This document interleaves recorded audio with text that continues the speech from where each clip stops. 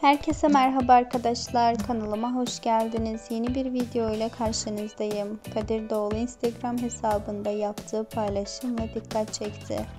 Kadir Doğulu eşi Neslihan Atagül ile birlikte olan fotosunu paylaşarak pazartesi şıklığı, cuma rahatlığı sözlerini yazdı.